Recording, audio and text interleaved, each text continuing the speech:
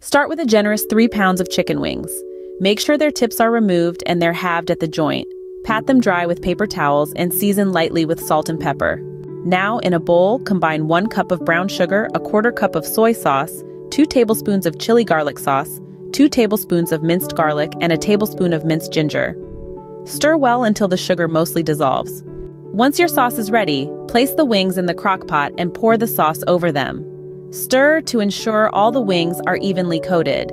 Set your crock pot to low and let the wings cook for about 3 to 4 hours. The wings will be cooked through and the meat will be tender, almost falling off the bone. But we're not done yet. To get that beautiful caramelized finish, transfer the cooked wings to a baking sheet lined with foil and broil them in the oven on high for 3 to 5 minutes, or until they start to brown and crisp up. Sprinkle the caramelized wings with sesame seeds and sliced green onions. Now they're ready to serve. Please let me know in the comments below how this recipe turned out for you. As always, the recipe is in the description. Don't forget to subscribe and help Magnolia Moon reach 1,000 subscribers.